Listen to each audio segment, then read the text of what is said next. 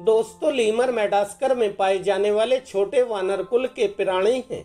यह स्ट्रप्स राइनी उपकुल के वानर हैं, जो मेडास्कर के मूल निवासी हैं। दोस्तों हिंद महासागर में अफ्रीका के पूर्वी तट पर स्थित एक मेडास्कर द्वीप है। यह विश्व का चौथा सबसे बड़ा द्वीप है।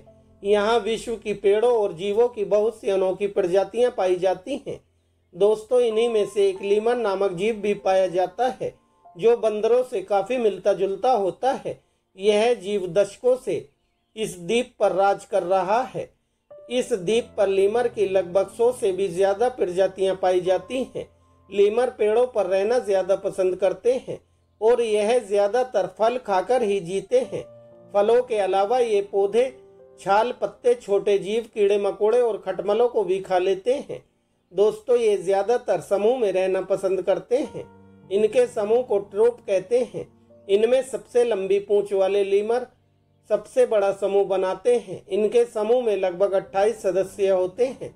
लीमर अपनी पूंछ के ज़रिए भी कई तरह के संवाद करते हैं। यह इनके संचार का एक प्रमुख माध्यम होता है। लीमर के हाथ और पैर काफ़ी हद तक इंसानों जैसे होते हैं। यहाँ तक कि इनके फिंगरप्रिंट्स भी होते हैं। दुनिया में सबसे छोटे लीमर का वज़न लगभग 10 ग्राम होता है। दोस्तों, लीमर का वज़न और आकार इसकी प्रजातियों के अनुसार अलग अलग होता है। मादा लीमर अपने बच्चे को अपने मुँह में दबाकर रखती है। जब तक कि वह बच्चा अपनी माँ की पीठ पर लटकने लायक नहीं हो जाता है। दोस्तों, कई लीमर लंबे समय तक बिना खाए भी रह सकते हैं और मोटी पूंछ वाले लीमर लगभग आठ महीनों तक बिना खाए रह सकते हैं। दोस्तों, लीमर की सूंघने की शक्ति बहुत तेज होती है। और रात के वक्त या अंधेरे में भी यह साफ़ देख सकता है।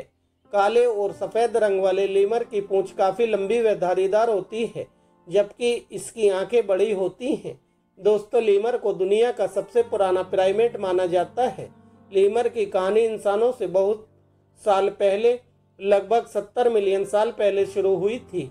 यह एक ऐसी दुनिया थी जब लीमर जैसे जानवर गिरह के पहले प्राइमेट डायनासोर के साथ अफ्रीका में घूमते थे। वैज्ञानिकों का मानना है कि लगभग पैंसठ मिलियन साल पहले लीमर हिंद महासागर में तैरती हुई वनस्पतियों पर मेडास्कर द्वीप तक पहुँच गए थे। अगले दसियों लाख वर्षों में मेडास्कर पर लीमर विकसित हुए और आज लगभग 112 प्रजातियों में ये विविधता लाए हुए हैं, जिन्हें हम आज देख सकते हैं। दोस्तों, विश्व लीमर दिवस हर साल अक्टूबर के आखिरी शुक्रवार को मनाया जाता है और विश्व लीमर महोत्सव अक्टूबर के पहले सप्ताह में मनाया जाता है।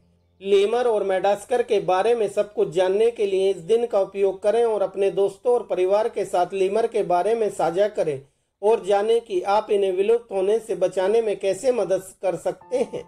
तो दोस्तों, यह थे लीमर के बारे में रोचक तथ्य और जानकारी जो मैंने आपके साथ शेयर किए।